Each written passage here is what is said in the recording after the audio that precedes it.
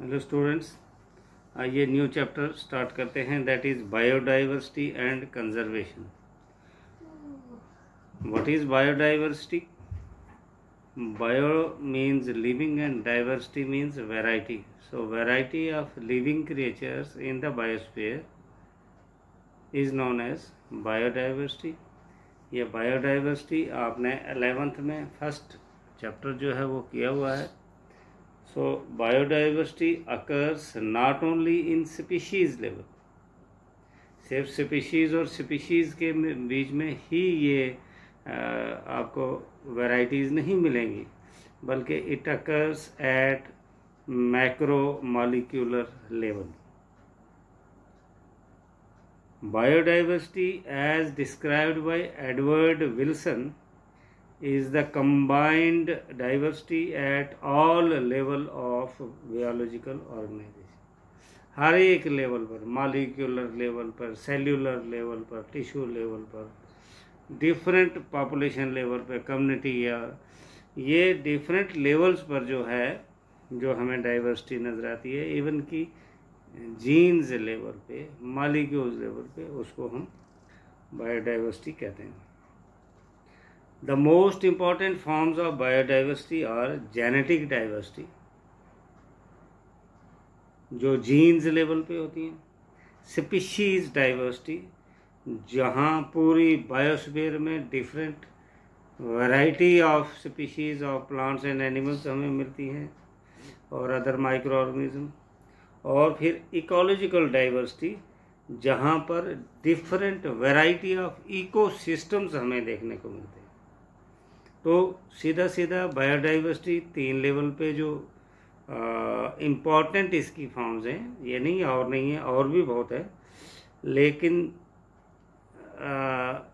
Genetic level पे, एक ही ऑर्गेनिज्म के अंदर जो जीन्स हैं, वो डिफरेंट टाइप के जीन्स हो सकते हैं, और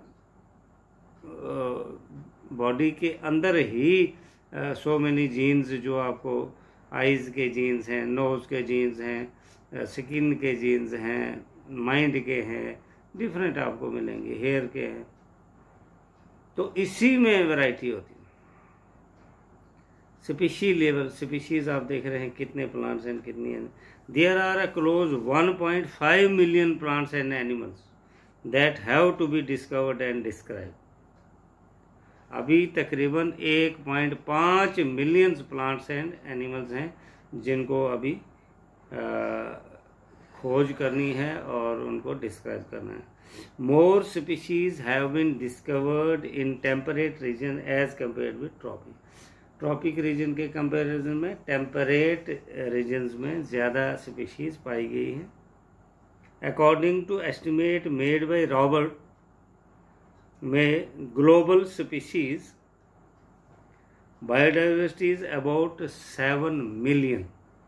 पूरी वर्ल्ड, पूरे ग्लोब लेवल पे अगर हम देखेंगे तो ग्लोबल स्पीशीज की डाइवर्स मीन्स सात मिलियन टाइप की स्पीशीज अभी तक जो है डिस्कवर हो चुकी हैं। Out of the total species discovered so far seventy percent are animals. 22% are plants. Of the animals 70% are insects. अभी तक, जितने सेवन मिलियन स्पीशीज की डिस्कवरी हुई है, इसमें सेवेंटी परसेंट एनिमल्स हैं ट्वेंटी टू परसेंट ही प्लांट्स हैं। इसका मतलब प्लांट्स की अभी बहुत सी स्पीशीज पूरी तरह से जो है डिस्कवर एक्सप्लोर नहीं हुई। और इन एनिमल्स में सेवेंटी परसेंट जो है वो इंसेक्ट्स हैं। India has two point four percent of the world's land and eight point one percent of total India के पास अगर पूरी वर्ल्ड का कंपैरिजन लेंगे तो हमारे पास ज़मीन जो है land two point four percent ही है। लेकिन जो हमारे पास स्पीशीज़ हैं, पूरी वर्ल्ड में जितनी है, उसका एट पॉइंट वन परसेंट हमारे इंडिया में भी है। According to May's estimate, 70% of the biodiversity is still to be discovered. अभी मे एस्टिमेट के मुताबिक अभी भी 78 परसेंट यानी कि 78 परसेंट बायोडाइवर्सिटी जो है अभी उसकी खोज नहीं हुई है डिस्कवरी नहीं हुई है अगर उनकी डिस्कवरी हो जाए तो फिर आप एक अज्यूम कर सकते हैं कि कितनी स्पीशीज़ हमारे पास प्लांट्स एंड एनिमल की हो जाएँगी और कितनी डाइवर्सिटीज़ हमें मिल जाएँगी। Applying this to India's biodiversity figures there still is a scope for discovery of over one lakh species of plants and three lakh species of India की अगर स्कोप की बात करें तो अगर इंडिया में भी काम शुरू हो जाए, अभी भी तकरीबन तीन लाख एनिमल्स ऐसे हैं जिनकी अभी डिस्कवरी नहीं हुई। और वन लैख स्पीशीज ऐसी हैं प्लांट्स की जिनकी अभी डिस्कवरी नहीं हुई Now comes pattern of diversity. Longitudinal gradients. The plants and animals are not distributed evenly worldwide. अगर पूरी वर्ल्ड में देखेंगे तो सारे प्लांट्स और सारे एनिमल्स इक्वल डिस्ट्रीब्यूशन नहीं है कहीं प्लांट्स ज़्यादा हैं कहीं कम है कहीं है नहीं कहीं एक वैरायटी कहीं दूसरी वैरायटी है diversity of living form decreases as we go from equator towards the poles और जियोग्राफी के हिसाब से अगर हम देखेंगे, जो इक्वेटर की एक बीचों बीच लाइन है, इसके आसपास ऑर्गेनिज्म ज़्यादा पाए जाते और नॉर्थ पोल और साउथ पोल की तरफ़ ऑर्गेनिज्म कम पाए जाते हैं। Huge amount of plants and animals are concentrated in tropical region ज़्यादातर ये जो ऑर्गेनिज्म हैं प्लांट्स और एनिमल्स के, ये ट्रॉपिकल रीजन में पाए जाते हैं because of the following reason reason क्या है? Tropical environment is less seasonal and almost constant एक टेम्परेचर एक जैसा सा रहता है।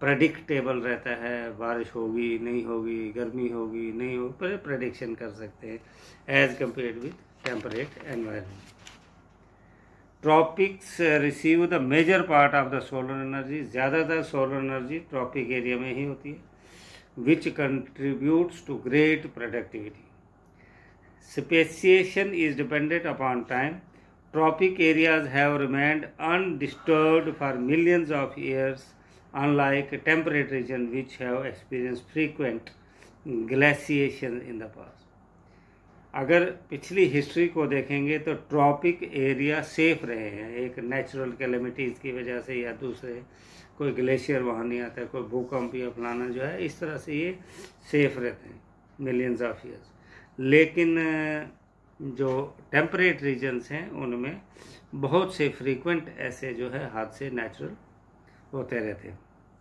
स्पीशी एरिया रिलेशनशिप क्या क्या होता है और कैसे कैलकुलेट किया जाता है। Alexander von Humboldt observed that biodiversity increases with increase in explored area उसने ये कहा कि बायोडाइवर्सिटी बढ़ते जाती है। जैसे जैसे हम एरिया की एक्सप्लोरेशन शुरू करते हैं, ये रिलेशन जो है वो मैथमेटिकली किसके बराबर होती है? Log of S is equal to log of C plus Z log A log of s is equal to log of c plus z log of a. Where s is the species richness kitni species a is the area z is the slope of the line c is y intercept value of z is found to lie in the range of 0.1 to 0.2 for comparatively smaller area छोटे area के लिए जो value of Z है that is slope of line ये 0.1 से 0.2 होती है। While area such as countries while smaller area के लिए जो है, ये इतना होता है as countries while for very large areas as entire continent the slope of line is much steeper with Z value lying from 0.6 to 1.2. So this was all about biodiversity and uh, patterns of biodiversity. Thank you very much.